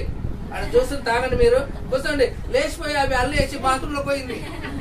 ఊరుకో చెప్తూనే ఉంది. తీసేసింది ఈవెన్ చూసి నేను భయపడ్డా. ఓయమ్మ ఇంత బలం ఎక్కడి నుండి వచ్చింది దేవుడా? ఈ శక్తి ఎక్కడి నుండి వచ్చింది నన్ను అక్కడ కూర్చోబెట్టింది ఆమె కోసం తెచ్చింది జ్యూస్. డాక్టర్ ఉండి ఆ తీపి తాపొద్దు ఇప్పుడు అన్నాడంట. ఫస్ట్ గారు మీరు తాగండి. దేవునికి స్తోత్రం. హలే ఆ రోజు నేను తినకుండా వెళ్ళిన. నీరసం వచ్చింది. ఆ, జ్యూస్ తాగేసిన దేవుడు నా కోసం సిద్ధపరిచాడు అని తాగి ప్రార్థన అయితే చేసి ఇంటికి వచ్చేసింది కనుక ఎందుకంటే ఈ రోజు దేవుని తెలుసు అండి నీ ప్రతి ప్రాబ్లం దేవుని తెలుసు. హల్లెలూయా. అందుకే ఆమె లేచి ఏం చేసిందంటే ఇమ్మడే ఉపచారము. అంటే ఏం చేసింది? వాళ్ళకు అక్కడ ఉన్న వాళ్ళకు టీయో టిఫినో ఏదో మరి స్వీటో ఏదో ఒకటి ఇచ్చేసింది. హలలుయా ఎందుకు ఇచ్చిందంటే దేవుడు నాకు చేసిన మేలులలో కృతజ్ఞత కలిగి చేసింది. నా ప్రాణమ ఎహోవ చేసిన ఉపకారములలో దేనిని? మరొకము ఈరోజు ఎందుకు ఈ కృతజ్ఞత కూడిక? రెండోటి సండే కూడా వచ్చింది కాబట్టి నేను చెప్తున్నా రెండు కలిపి కనుక రెండోటి ఏం చేసింది తెలుసా? అయ్యా కాన్ఫిడెన్స్లో ఉన్న వాళ్ళని రమ్మను. రెండోటి వాళ్ళు ఎవరైనా దూరం నుండి వచ్చినా పర్వాలేదు. వాళ్ళకి అందరికి నేను భోజనం పెట్టి దేవుడు నాకు చేసిన మేలు అందరి ఎదుట నేను సాక్షిగా చెప్పుకుంటాను అన్నది. ఆమె హల్లెలూయా. ఎందుకంటే నా ప్రియ దేవుని బిడ్డ ఆమెను మేము చూసాము ఈ ప్రాంతంలో అందరు వెలివేసి అందరు అవమానించారు. ఎందు ఎన్ని బాధలు పడ్డామో తెలుసా మేము? తెలుసు ఇక్కడ కొద్ది మంది కళ్ళారా చూసిరు కనుక ఆయన మరియమ్మ వలే నా ఇంట్లో పెట్టు ప్రార్థన అని ఆ రోజు పేతురు కోసం పెట్టినట్టు ఈ రోజు ఇక్కడ మరియమ్మ ఏర్పరచుకున్నాడు. హలలుయా ఆమె చెప్పింది బాబు పెట్టు నానా మాకెప్పుడన్నా ఇబ్బంది అనిపిస్తే మేము చెప్తాం అప్పుడు. అప్పటిదాకా మీరేం చేయరు ఆరాధన జరిగించుకోండి. ఆదివారం గంట రెండు గంటల సేపు అంతే కదా. చేసుకోండి నన్ను. ఇద్దరికి భార్య భర్తలకు దేవుడు మంచి మనసు ఇచ్చాడు. హలలుయా అందుకే ఈ రోజు ఇంతమంది ఇక్కడ కూడుకోగలిగాం గనక అందుని బట్టి దేవునికి మహిమ కలుగును గాక. మూడోటి ఏం చేసింది తెలుసా? ఈమె బాధలో నుండి బయటికి వచ్చేసింది. బాధ తీవ్రమైన బాధ జ్వరంతో మూలుగుతో లేవలేని స్థితిలో ఉన్నది. ఈ వాక్యం వింటున్న మీ జీవితాలలో నేను చెప్తున్నా ఏ సిచ్యువేషన్ నుండి బాధపడుతున్నావో? జ్వరంతోనా? అనారోగ్యంతోనా అప్పులతోనా సమస్యలతోనా నువ్వు దేన్ని బట్టి బాధపడుతున్నావో ఈ రోజు ఏసైని దగ్గరికి రాబోతున్నాడు. గట్టిగా హల్లెలూయా ఏసైని దగ్గరికి రాబోతున్నాడు. నీ సమస్య ఇక తీరబోతుంది. నీ బాధలు ఇక తీరబోతున్నాయి. నీ దుఃఖం ఇక కొట్టివేయబడుతుంది. నీ రోగం దేవుడు తొలగించబోతున్నాడు. నీకున్న సమస్య దేవుడు విడుదల చేయబోతున్నాడు ఆయన లేచింది ఎమ్మడే ఉపచారం చేయగలిగింది. అది చూసి ఏసే సంతోషించాడు. హల్లెలూయా ఏసే కోసం నువ్వు ప్రాణం పెట్టే అవసరం లేదు. ఏసే కోసం నువ్వు చిలువెక్కే అవసరం లేదు. ఏసే అన్నాడు నా నామం నా గిన్నెడు చన్నీళ్ళు ఇస్తే అది నాకు ఇచ్చినట్టే అది నాకు చేసినట్టే మీరు మనుషులకు కాదు ప్రభుకు చేసినట్టు మీరు వారికి చేయవలని అన్నాడు. గనక ఈరోజు నేను వాక్యాన్ని ముగిస్తానికి నా ప్రియ దేవదినమా మొట్టమొదటిగా నా వాక్యాంశం ఏంటో తెలుసా? ప్రతి విషయంలో మనం కృతజ్ఞత చెల్లించాలి. ఇజ్రాయెల్ దేన్ని బట్టి కృతజ్ఞత చెల్లించారు? చెప్పండి భయం నుండి బయటికి వచ్చారు. హలలుయా వాళ్ళు ఏం చేశారు? భయంలో నుండి బయటికి వచ్చి ఆ గొలియాతును జయించారు. తర్వాత దేవుణ్ణి శుద్ధించుకుంటూ గాన ప్రతిగా డాన్స్ చేసుకుంటూ నాట్యం ఆడుకుంటూ ఒకరినొకరు ఉత్సా ఉచ్చి ఏమంటావు? ఉత్సాహంతో వాళ్ళు గంతులు వేసుకుంటూ వెళ్ళిపోయారు కనుక ఈ రోజు నీకున్న భయము నీకున్న సమస్య దేవుడు కొట్టివేయబోతున్నాడు. రెండోటిగా పేతుర్ని ఏం చేశాడు దేవుడు? బంధక అంధకారంలో నుండి బయటికి తీసుకువచ్చినందుకు సంఘం అంతా ఏం చేసింది తెలుసా? కృతజ్ఞతగా దేవునికి థ్యాంక్స్ చెప్పింది అనమాట నీకు వంట ఉంటేనేమో వండి పెట్టు పర్వాలేదు. లేకుంటే మోకరించి దేవునికి థ్యాంక్స్ చెప్పు. అదైనా దేవుడు అంగీకరిస్తాడు గనక. ఇలా రాత్రి వంట పెట్టలేదు. దేవుడికి ఏం చేసిన అందరు కలిసి పేతుర్ను మాకు తెచ్చినందుకు వందనాలు ప్రభు అని శుద్ధించారు ఘనంగా దేవుడు మయంపరిచాడు వాళ్ళు మయంపరిచారు వాళ్ళు గనక. మూడోటిగా బాధలో ఉన్న వారిని దేవుడు బాగు చేశాడు. హల్లెలూయా. బాధలో ఉన్న వారిని కూడా ప్రభు బాగు చేశాడు గనక ఈ వాక్యం వింటున్న మీ విశ్వాస జీవితంలో ఈ రోజు మీరు డేట్ రాసి పెట్టుకోండి. తర్వాత మీకు ఏ సమస్య ఉందో దానికోసం ప్రార్థన చేయండి. భయపెట్టే సమస్య ఉందా? దేవుడు దాని నుండి విడిపిస్తాడు. బంధకాలలో ఉన్నావా? లేవలేని స్థితిలో ఉన్నావా? దేవుడు దానిలో నుండి నేను బయటికి తీసుకొస్తాడు. మూడోటిగా చెప్తున్నా అనారోగ్యంతో జ్వరంతో బాధలో ఉన్నావా? ఆ బాధలో నుండి కూడా దేవుడు నిన్ను విడిపించి బయటికి తెస్తాడు గనక మన దేవుడు ప్రేమ స్వరూపి. హలెలుయా ఆయన రక్తం గార్చి ప్రాణం పెట్టిన దేవుడు గనక నీవు బాధపడుతుంటే దేవుడు చూస్తూ ఊకోడు. ఎస్తారా నాకు ఒక సాక్షి చెప్పింది. అన్న నేను చనిపోయిన డెత్ సర్టిఫికెట్ వాళ్ళు డాక్టర్లు ఇచ్చేసారు అని నేను నా దగ్గర ఇండోర్ దగ్గర కిటికీ దగ్గర ఒక వ్యక్తి వచ్చి ఆయన ఏడుస్తూ నా వైపు చూస్తూ ఉన్నాడు. నన్ను లేవనెత్తాడు దేవుడు అని అందుకు మన మధ్యలో ఉంది. అమ్మాయి గనక నా ప్రియ దైవజనమా ఈ రోజు నువ్వు ఏడుస్తుంటే దేవుడు నిన్ను చూసి నవ్వడు గాని దగ్గరికి వచ్చి నీ కన్నీళ్ళు దేవుడు తుడుస్తాడు. హల్లెలూయా. ఈ వాక్యం వింటున్న మీ విశ్వాస జీవితంలో దేవుడు మిమ్మల్ని ఆదరించబోతున్నాడు బలపరచబోతున్నాడు. మీరు ఏ స్థితిలో ఉన్నారో దానిలో నుండి బయటికి దేవుడు తీసుకురాబోతున్నాడు ఆదరించబోతున్నాడు గనక. అందుకే ఈ రోజు ప్రభువా ఒకప్పుడు నేను భయంలో ఉన్నా నన్ను బయటికి తీసుకొచ్చావు. నేను బాధలో ఉన్నా నన్ను స్వస్థపరిచావు. రెండోటి బంధకములలో ఉన్నా నాకు ధైర్యం ఇచ్చి విడుదల ఇచ్చావు గనక ఇంత గొప్ప దేవుడు నాకున్నందుకు నీ కృతజ్ఞతలు అని చెప్పి దేవుని మైంపరచుదాము దేవుడి కొద్ది వాక్యము మనందరి వినికిల్లో దీవించును గాక ఆమె నా ప్రియ దైవజనమా ఇంకొక మాట చెప్తున్నా. ఈ యూట్యూబ్లో వాక్యం వింటున్న మీ అందరి జీవితంలో కూడా ఏ భయం ఉన్నా ఎలాంటి బాధ ఉన్నా సమస్య ఉన్నా దేవుడు అందరికి విడుదల ఇచ్చును గాక ఆమేన్. దేవుడు మీ అందరికి గొప్ప రక్షణ కలగజేయను గాక. యుద్ధము. గాడ్ బ్లెస్ నాన్న. దేవుడు మిమ్మల్ని అందరిని దీవించును గాక. ప్రార్థన చేసుకుంటూ ముందుకు సాగుదాము. అన్న కళ్ళు మూసుకుందాం అన్న చివరి ఒక ఐదు నిమిషాలు. కళ్ళు మూసుకుందాము. ప్రార్థన చేసుకుందాము. దయచేసి తలలు ఉంచండి కళ్ళు మూసుకుందాము.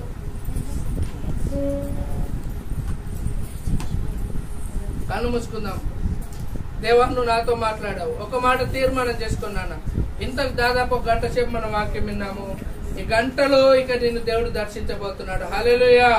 ఆయన నిన్ను ముట్టబోతున్నాడు.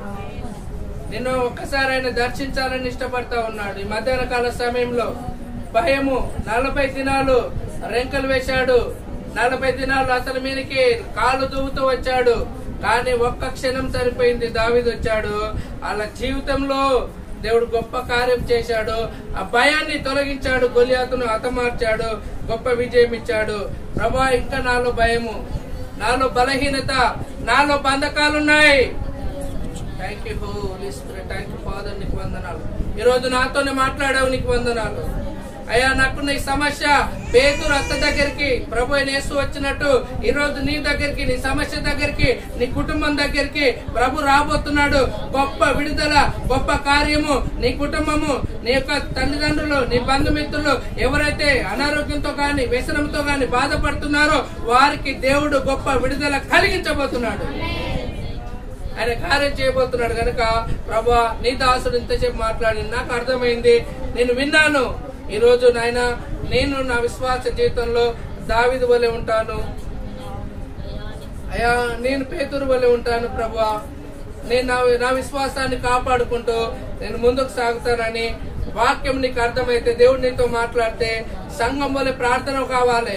నువ్వు ఎదగాలి జయించాలంటే ఒకటి ప్రార్థన ఉండాలి రెండోటి ధైర్యం ఉండాలి మూడోటి విశ్వాసం ఉంటే దేవుడు నేను లేపుతాడు గనక. చే ఒక్క మాట ప్రభా నువ్వు నాతో మాట్లాడావు. నాకు వాక్యం అర్థమైంది. నేను ఈ రోజు ఇవి కలిగి ఉంటాను. నాకున్నవన్నీ తొలగించావు. భయము భీతి నిరాశ కొట్టివేశావని చెప్పి ఒక మాట అడుగుదాము. అడిగితే దేవుడు చూస్తున్నాడు నా ప్రియ దైవజనమా నీ కుడి చేయి ఒక్కసారి పైకెత్తు. దేవుడు నీతో మాట్లాడితే నాకు అర్థమైంది వాక్యము. దేవుడు నాతోనే చూటిగా మాట్లాడింది అనుకుంటే నీ కుడి హస్తం పైకి చూపించు. పేదూరు మునిగిపోతున్నప్పుడు సమస్యలో ఉండి ఆయన వైపు చేయి చాపాడు దేవుడు లేపాడు పట్టుకున్నాడు. లేవనెత్తాడు గనుక ఈ రోజు నువ్వు చేయి చాపి. ఒక్కసారి ప్రభా నాతో నేను మాట్లాడావు. నాతో నువ్వు మాట్లాడావు ప్రభా నీకు వందనాలు. నాయన నిన్ను నీ ఈ రోజు నాయన నా ప్రాబ్లం నువ్వు తీసివేస్తానని చెప్పావు. నాకు ధైర్యం ఇచ్చావని చెప్పి నువ్వు తీర్మానం చేసుకో. ప్రైజులా ప్రైజులా నాన్న చేతులు ఎత్తిన మీ అందరిని దేవుడు విడుదల మీ అందరిని దేవుడు ముట్టబోతున్నాడు. ఈ దినమైన రోగాన్ని దేవుడు తీసివేయబోతున్నాడు. నీకున్న సమస్యను ప్రభు కొట్టివేయబోతున్నాడు. నువ్వే స్థితిలో పడి ఉన్నావో. నువ్వు పడ్డ స్థలం దగ్గరికే ప్రభు రాబోతున్నాడు. గొప్ప కార్యం చేయబోతున్నాడు గనక చేతులు ఎత్తిన నీవు ఒక తీర్మానం చేసుకొని ముందుకు సాగు. ప్రార్థన చేసుకుందాము. అలాగే చేతులు ఎత్తుంచండి. మహాగణుడా మహోన్నతుడా పరిశుద్ధుడా ప్రేమ స్వరూపిణి ఘనమైన శ్రేష్టమైన నామాన్ని బట్టి వందనాలు స్తోత్రాలు. ప్రభా అయ్యా మరి ఇదిగో నాయన ఈ యొక్క నా దేవ మరి మార్చి నెల అయ్యా మరి ఇదిగో దేవా అయ్యా మరి ఇదిగో నాయన అయ్యా ఏడో తారీఖు నా ప్రభు అయ్యా పరిశుద్ధ దినముగా విశ్రాంతి దినముగా నాయన అయ్యా మేమందరం ఇక్కడ కూడి ఉన్నాం నా ప్రభు నీకు వందనాలు. అయ్యా పేదలు ప్రార్థన మందిరంలో అయ్యా బిడ్డలను సమకూర్చావు నాయన ప్రతి బిడ్డతో మాట్లాడావు నీకు వందనాలు నా ప్రభా. అయ్యా గొలియాతు లాంటి భయం నుండి ఈ దినమే గొప్ప విడుదల బిడ్డలకు కలుగునుగా కేస్తున్నాము అయా నీకు వందనాలు. ఆయా బంధకాలు పేతురు వాళ్ళు ఎంతమంది ఎంతమందికి బంధకాలు ఉన్నాయో సేవకులకు గాని విశ్వాసులకు ఎవరికైనా ప్రభ గొప్ప విడుదల బంధకాల నుండి గొప్ప విడుదల కలుగునుగా కేస్తున్నాము అయా జ్వరము అనే బాధలో భయంతో ఉన్నారు. ఆ దాని నుండి కూడా గొప్ప విడుదల కలిగిన ఆయన. నీ బిడ్డలు ఇత్తబడిన వాక్యాన్ని నీరు కట్టి నారు పోసి ఫలింపచేసి నూరంతలుగా ఆశీర్వదించమని ఈ యొక్క నాయన ఈ అయా మరి ప్రోగ్రామ్ చూస్తున్న ప్రతి బిడ్డను కూడా నువ్వు దీవించమని మహిమ ఘనత ప్రభావాలు చెల్లిస్తూ ఏసుక్రీస్తు నామం ప్రార్థించాడు ప్రార్థించాడి వేడుకుంటున్నాము తండ్రి. అలాగే నాన్న కళ్ళు మూసుకొని పరిశుద్ధమైన బల కోసం